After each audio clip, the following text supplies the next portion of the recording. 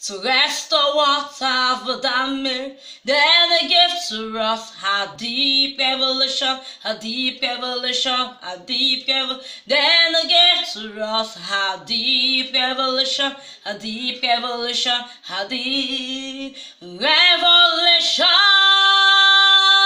Yeah, yeah, yeah. We need you, Lord. We need you, Lord, to rest what have Jesus Christ, we shall overcome. We need you, Lord. We need you, Lord, to restore what have we damaged. In the name of Jesus Christ, we shall overcome.